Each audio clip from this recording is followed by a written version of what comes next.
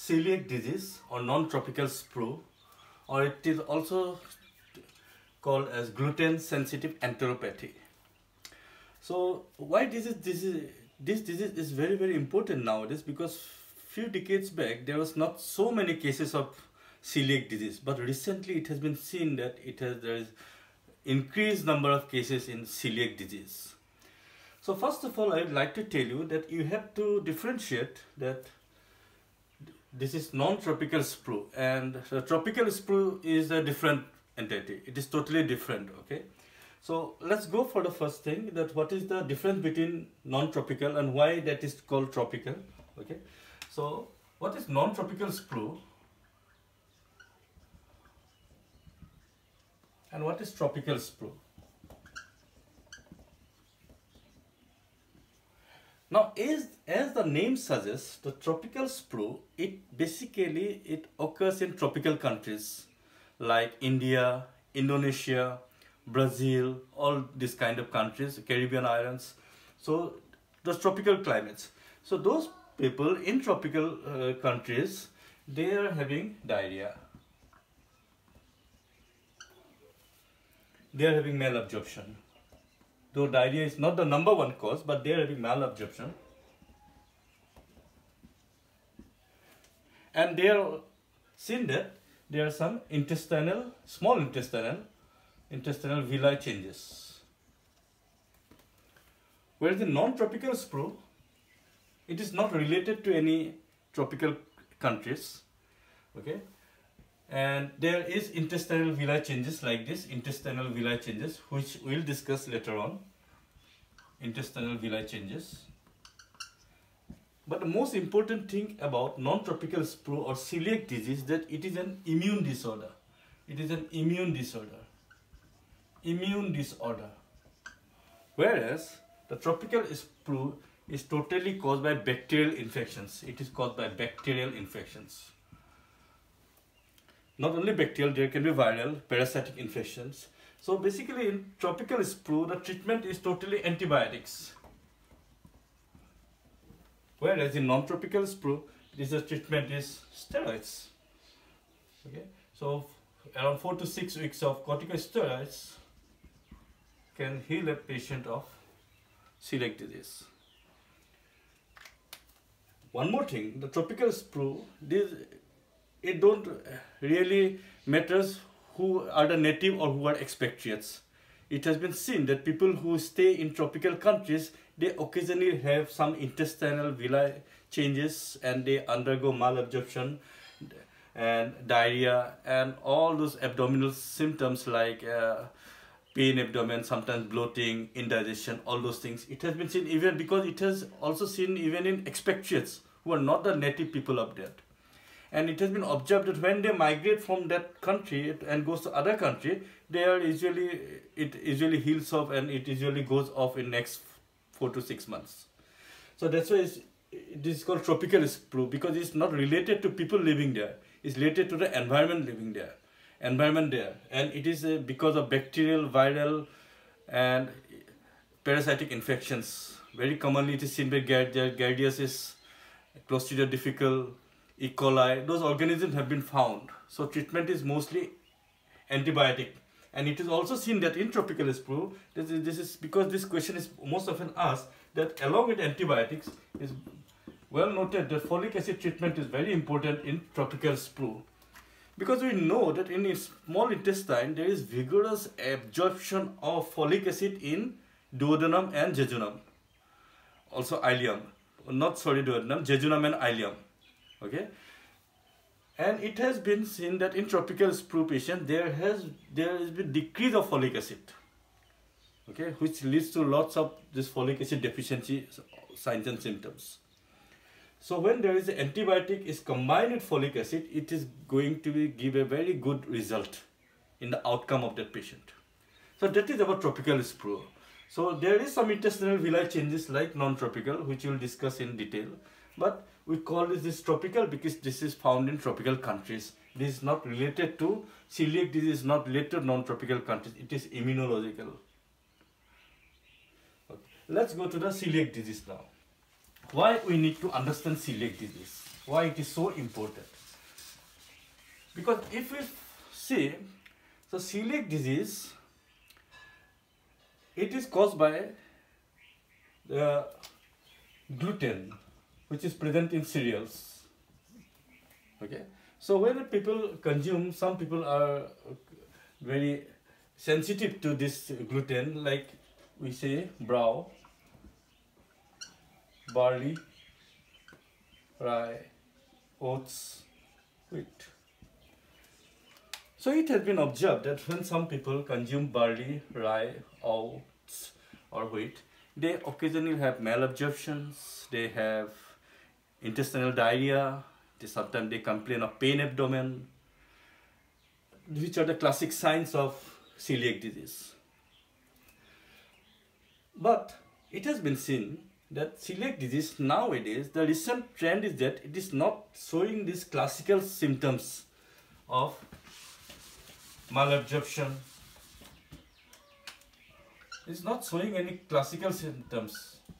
Malabsorption like malabsorption, failure to thrive, failure to thrive, weight loss, diarrhea, pain abdomen. It has recently been seen that there are only less amount, less um, population that we are showing these classical signs. 50% of population of celiac disease, they show some atypical signs and symptoms. Okay, so you'll know that these atypical symptoms are very unique. Okay, like what are these atypical symptoms now? Atypical symptoms basically, uh, they it has been seen the celiac disease patient they also comes with osteopenia that is decrease in density of bones so you should know what is the uh, difference between osteopenia and osteoporosis. So osteopenisis is mild decrease in density. And it when it goes to a larger amount means more and more loss of density then we call it osteoporosis. So you can say osteopenia is a condition before osteoporosis. And very surprisingly it has been shown it is related to infertility. So that's why this disease celiac disease is a lot in discussion these days because it is people are presenting with osteopenia people are presenting with infertility they are also presented with cancer of small intestine and also with lymphoma and when later on when the investigation is done and there is intestinal biopsy is done then this there are some intestinal changes are seen. So what are the basic intestinal changes are seen which by which we can say that this person is having celiac disease. There are three things to be noted here in celiac disease. There's number one, the patient will have villus atrophy. Villus atrophy. Number two is that there is increased amount of lymphocytes. Increased amount of lymphocytes in the lamina propria layer of the epithelial cell in the GI cells. Increased lymphocytes in the lamina propria. And third thing there is cryptic hyperplasia. Cryptic hyperplasia. These are the three things that are seen when there is intestinal biopsy is done. Sometimes patient only present with osteopenia and infertility. And then when endoscopy is done and bi biopsy is done, intestinal biopsy, you seen that there is villus atrophy. Now what is the villus atrophy? That we know in the small intestine, in the duodenum, jejunum and ileum, it is full with villi. Okay, we know there is villi. So there is villi, which so these villi are important because they increase the surface area for absorption. So that's why these villi are important. So in celiac disease, it has been seen that these villi are atrophied. Now imagine these villi are needed for absorption of our nutritions. So what will happen if these villi are damaged and instead of this, they looks like the height has been reduced. So height has been reduced because of some part of it become damaged or atrophied. So if the villi have become, so we know that in the villi there is microvilli also and this is called brush borders. Okay, and there is lots of brush border enzymes. So imagine these villi have become now flat. The villi have become flat. So when the villi have become flat, or because of atrophy, because the villi, substantial amount of, lots of amount of villi has been lost. This amount of villi has been lost. This has been lost. So what will happen if villi is lost, some amount of villi has been lost? So there will, it will lead to malabsorption. Malabsorption of nutrients, malabsorption of iron, malabsorption of folic acid, malabsorption of fat, which will lead to a lot of signs and symptoms of celiac disease. And it has been seen that there is increased number of lymphocytes, increased number of lymphocytes in the lamina propria layer. And there is cryptic hyperplasia, cryptic hyperplasia in the crypts. There's hyperplasia. So these three things are seen in an intestinal biopsy. And then only it is diagnosed that it is celiac disease, though it is not the, it is hallmark, but it cannot say 100% diagnostic feature of celiac disease. Because ultimately we have to do serological studies where we get antibody to endomysium and antibody to transglutaminase, which we'll discuss in investigation. So ultimately serological st studies will give 100% or 95 to 100% you can say this result and diagnosing of celiac disease. So to understand this, why there is villus atrophy, why there is increased lymphocytes, let's go and uh, understand the pathophysiology. What is the pathophysiology here?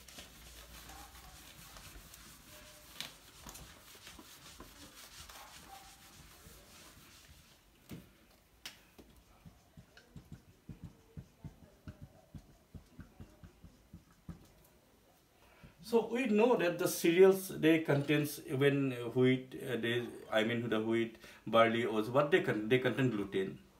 So what happens when somebody with celiac disease they consume glut gluten containing food, or food containing gluten. So so let's say there is here in the duodenum, okay, we have so this is the brush border villi. All right. So the person has taken gluten in his diet, which can be presented in barley, rye, oats, or wheat. Okay. So gluten is. So what will happen here? Okay, when gluten comes, right? So let's zoom this part. Let's zoom this part. So this is one villi okay and we know there is the this is the area of lamina propria. All right this is submucosal layer so this is the epi enterocytes epithelial cells.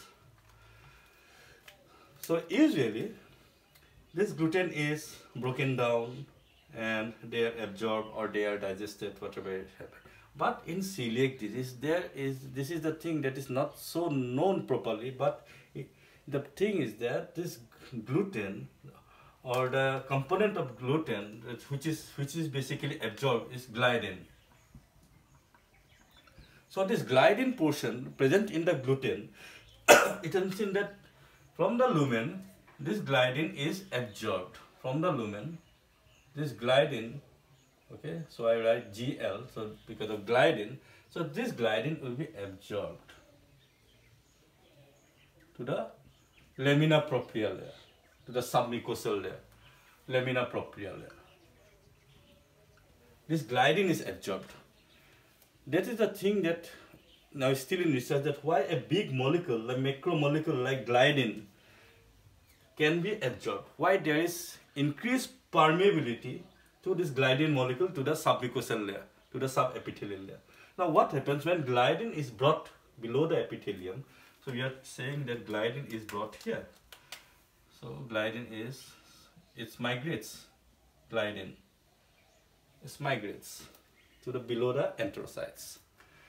So here, once the gliadin is rich, it starts both adaptive immunity and innate immunity.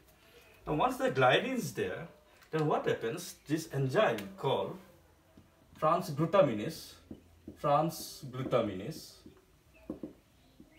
which we write tissue trans glutaminase, tissue transglutaminase or TTG.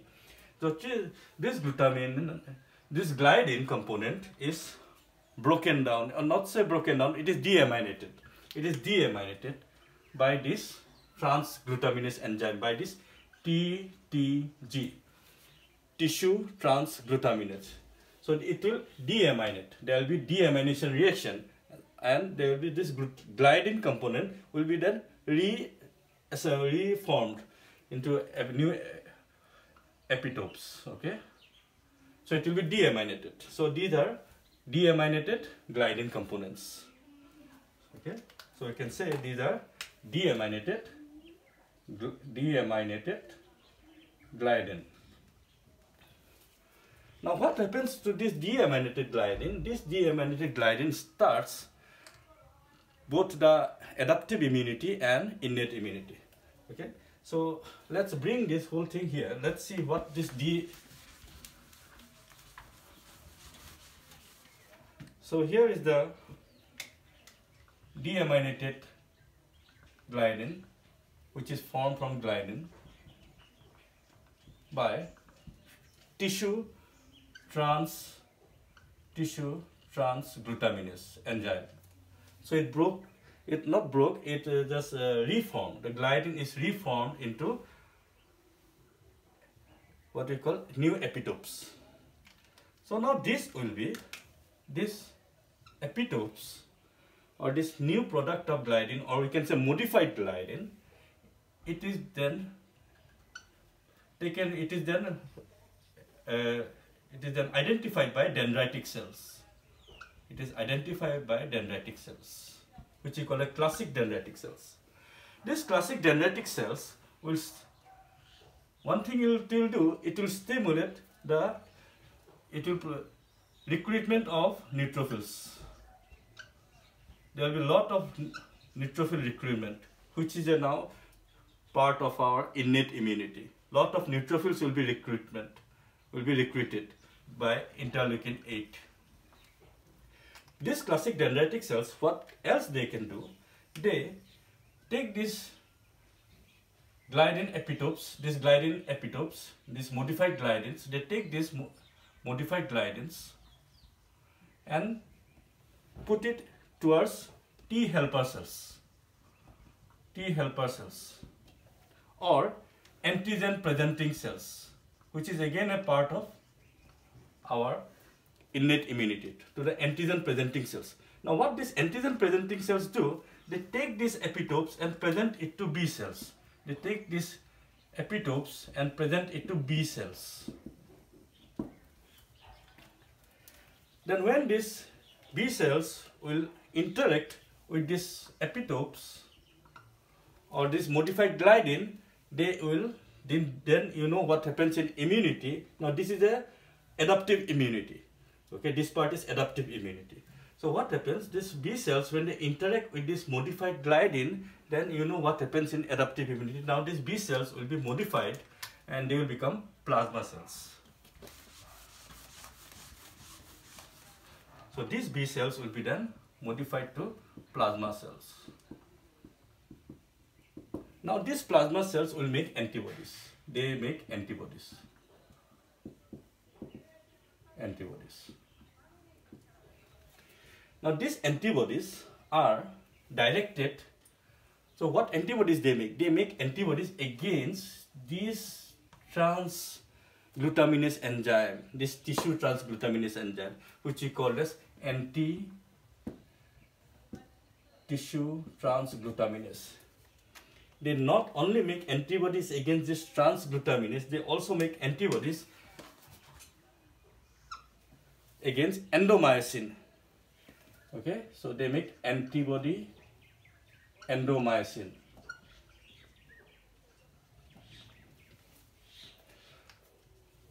Also, they make another third group of antibodies. They also make another group of antibodies that is antibody against this gliadin. So anti gliadin. So we can see as a result of this modified gliadin, there are three antibodies that are formed. There are three antibodies that are formed. There are three antibodies that are formed. One is antibody to antibody to tissue transglutaminase. Number two, antibody to endomycin. Number three, antibody to gliadin. Antibody to gliadin. So these three antibodies are formed. So in this whole scenario, this transglutaminase, this tissue transglutaminase, they behave as autoantigen. So these antigen antibodies, they target this tissue transglutaminase. So tissue transglutaminase, without any reason, they become a victim, we can say they become the antigen here. So that's the concept of autoantigen. Okay. So they become autoantigen. So these antibodies, they are mainly directed against the tissue transglutaminase. So if you remember from your physiology or anatomy that endomycin is a component of muscles. So what is endomycin? This endomycin is a component of smooth muscles. So not sorry smooth muscle, it's a muscle, it's a component of muscle. So when you see the muscle fiber, so if you take it, this is uh, skeletal muscle, okay, and you see there is muscle fibers in the muscle. So all these muscle fibers are coated with a sheet. It coated with a, it is coated. It's coated with a covering. This covering is called endomycin. Inside this endomycin, there are enzymes. There are enzymes which are, these enzymes are tissue transglutaminase enzyme. So what is what is the role of tissue transglutaminase enzyme? They basically help in cross-linking of proteins. Like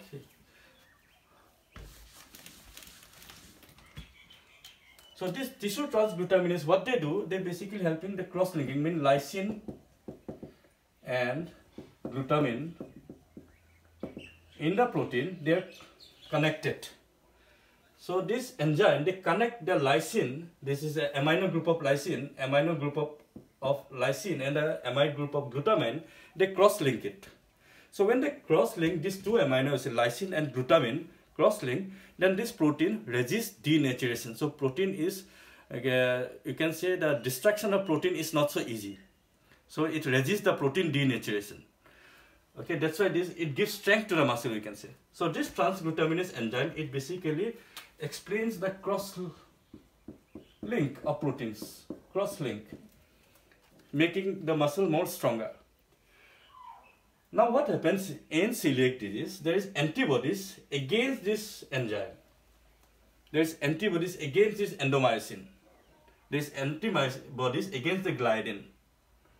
So these all antibodies which are produced by the B cells, they are directed against it and results in the rest of the uh, pathology of the celiac disease. Now, coming back here, so once there is neutrophils is in the scenario, we know that there is inflammation will be started. So inflammation has started. So you know this part is this part up to the recruitment of neutrophils, T helper cells. This is the innate immunity which is present from birth. So innate immunity is the immunity which is the oldest immunity and it's present from the birth. Like complement system, like the skin, like neutrophils, antigen presenting cells. These are part of our innate immunity. So when this modified gliadin is recognized by the classic dendritic cells, it starts the inflammatory process by recruiting neutrophils with the help of interleukin 8. So these neutrophils when they are recruited, they start doing the inflammation process. So the basic, the foundation is already laid. Now inflammation process has started in the intestinal villi. So now the, because of the neutrophil recruitment, this intestinal villi, there is inflammation process. There is inflammation process. Inflammation has started. Lot of neutrophil recruitment. And then there is antibodies. These antibodies are directed against this transglutaminase, resulting in weakness and resulting in damage of the villi. So ultimately, because of the now antibodies are also here. These antibodies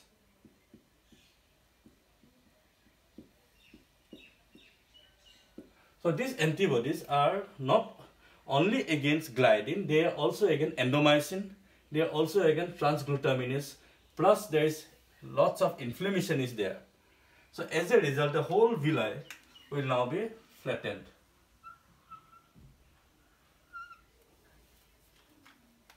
Okay, so this happens in celiac disease. Okay, so let's recap. So what happens in celiac disease? The transglutaminase enzyme, that is tissue transglutaminase enzyme, tissue transglutaminase, tissue transglutaminase enzyme, it behaves as an autoantigen. It is the target against which these three antibodies are formed. So there is absorption first so this is the intestinal villi and gliadin component of the gluten is absorbed. So as a result, there is lots of inflammation, lots of lymphocytes will be there. So when gliadin is absorbed, this gliadin then modified into epitopes. So modified gliadin, we can say, modified gliadin will be formed, small, small modified gliadin by the transglutaminase enzyme, tissue transglutaminase, because this is a deamination reaction. Then this is recognized by the classic dendritic cells and starts the process of innate immunity by recruiting neutrophils and adaptive immunity by stimulating the B cells by put so these cells, so, um, sorry, these epitopes or this modified gliadin are presented by the antigen presenting cells and they present it to the B cells. Say this is the antigen, make a antibody. So they start producing antibodies. So these antibodies are directed against endomycin, gliadin and TTG. Why this is important? Because this is the basic marker for, or we can say basic diagnostic marker in serology test to diagnose someone with a celiac disease. So when you have to diagnose celiac disease, not only you will see there is villus, there will be a flattening of villi or villus atrophy, then cryptic hypertrophy or hyperplasia, and lots of lymphocytes. Yeah, lots of lymphocytes. Plus, we'll, when we do the blood test, we'll, in the serology, serology test, we'll also find high amount of anti, anti tissue transglutaminase enzyme, high amount of anti-endomycin, high amount of anti-gliadin, which supports your diagnostic thing. So this is the pathophysiology. Now what are the clinical features here? The, how the patient will present. So as you discussed, the classic symptoms are basically, it is, the classic presentation is malabsorption. Malabsorption. So due to the disorder of villi, I can say disorder because the villi is flattened now, absorption is not taking place properly. So what absorption is hampered? fat, basically fat absorption, there is restricted fat absorption. So restricted fat absorption. So as a result, steatorrhea. Because of restricted fat absorption, there will be steatorrhea. So fat will be passed in the stool. Bulky, greasy stool and stinky. So steatorrhea. What else? There will be, most of the vitamins cannot be absorbed. So due to non-absorption of, you can say, B12 and other nutrients, iron, there will be resulting in anemia. Though anemia is not following classic signs and symptoms, but anemia is obviously it will be always present because of malabsorption. And the signs and symptoms of anemia, it can go for, it can also, sometimes patient can also present like that. So along with this, therefore there is weight loss, associated with malabsorption. There will be nausea, vomiting kind of thing. There will be pain abdomen and there will be diarrhea also. Now often this question is asked that why there is diarrhea in celiac disease. disease. So diarrhea in celiac disease is multifactorial. Okay. So number one is that there, why there is diarrhea because first of all this villus is atrophied now. This villi is atrophied. It is flattened. So we know there's there in this brush borders, there's brush border enzymes called lactase. So because of decreased amount of lacto lactase, now there the patient will also have lactose intolerance. Okay, because this villi is damaged. So when the villi are damaged, the lactase enzyme it goes down, and now this one who has celiac disease, they obviously they cannot also digest lactose. And we know lactose is an osmotic particle. When lactose is present in the intestine, it will absorb lots of water and produce diarrhea. So diarrhea can be produced because of lactose intolerance. Number two, it is can be also diarrhea can be also because there is decreased fat absorption, which also bring lot of water into the intestine. Also, this diarrhea is associated because celiac disease is very commonly associated with type 1 diabetes. So, diabetic diarrhea can also be there. Diabetic diarrhea. So, diabetic diarrhea, so all these multifactorial causes.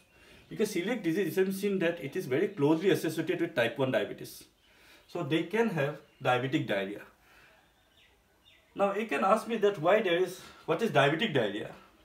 So diabetic diarrhea is a condition when diabetic people have diarrhea you can say. Now it is not a rare thing to find diarrhea in diabetic people. So what is the what are the things that can produce diabetic diarrhea? So most of the time if there is diabetes people and people are taking metformin, that is a side effect. Di diarrhea is a side effect of metformin. Then in diabetes, there is diabetic neuropathy. So because of neuropathy, neuropathy when the nerves are affected, the myenteric plexus is affected. So myenteric plexus are affected. So it goes down. So it not goes down where we can say the myenteric plexus don't work properly. Okay, it is so as a result there is increase MMC migrating motor complex, migrating motor complex. So when there is increased MMC, migrating motor complex, so there is less time for absorption of water in the colon. So we know in the large intestine, colon is basically meant for absorption of water. Water is absorbed mainly in the large intestine. So if this contraction in the large intestine is very fast, it's happening at a faster rate, then this stool is getting less time for to stay there. So when there is less time to stay in the large intestine or in the colon, water will not be absorbed properly. So as a result, it can cause diarrhea. So that is the, that are the conditions which can which lead to diabetic diarrhea. So there is it's a yes, it is all those things is because of neuropathy. We can say neuropathy. Plus diabetic people who are taking metformin, this is a very important side effect that they can have diarrhea. And rest of the things is that yes so we are in now clinical features so what is why there is diarrhea? We are discussing why there is diarrhea. Okay why there is diarrhea in celiac disease. So diarrhea in celiac disease for number one is because of lactose intolerance.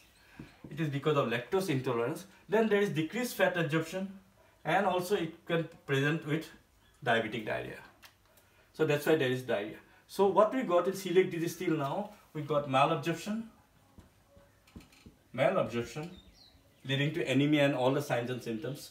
Then there can be diarrhea, there can be weight loss, there can be failure to thrive. But these are the classical findings there because most of the 50% of the cases are silent cases and rest of in 50% it's uh, 20 to 30% are nowadays they are presenting with atypical symptoms. Some patients are only presenting with osteopenia. Some are only presenting with infertility. Some are only presenting with lactose intolerance. And then when there is a diagnostic procedure is done and serological study is done, then they are diagnosed to have what we call celiac disease. So these are the things. What are the associations? So what are the associations? The celiac disease is very commonly associated as we associations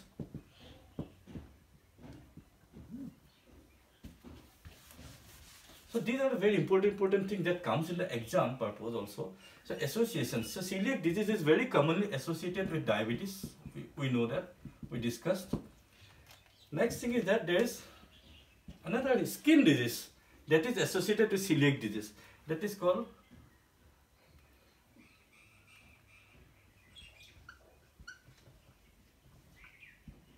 dermatitis herpetiformis. So in dermatitis herpetiformis, there are water-filled blisters are seen around the skin, which is very itchy. So water-formed blisters, so diabetic, oh sorry, the dermatitis herpetiformis, there is water-formed, water-filled blister, blisters are seen, and it is itchy, itchy in character. Because originally when this, this disease was found, it was thought it is because of herpes virus infection. But now it is confirmed that it is not because of herpes, it is because of the cross infections of this celiac disease. So it is a, you can say it is a cutaneous manifestation of celiac disease. So it is not related to uh, herpes virus. That's why the treatment is not any antibacterial or antiviral or this treatment is in diabetic herpetiform treatment is and it's seen that Dapsone is very good treatment and it gives good result in dermatitis herpetiformis. So why these dermatitis herpetiformis occurs? Because of cross reactions. So that antigen antibody complex. So what we can see here. So this is the epidermis and there is the dermis. So those antigen antibody complex, antigen antibody complex, especially the IgA antibody, which is mainly in the found in the intestinal mucosa. This is a, because mucosa related antibody. So this antigen antibody complex, okay. So antigen antibody is like gliadin, antibody, gliadin, and uh, gliadin and antibody, and then what we call endo, sorry, the transglutaminase TTG antibody so this complex, they migrate here. Plus it will beneath the skin. Plus there is lots of neutrophils. Lots of neutrophils are seen.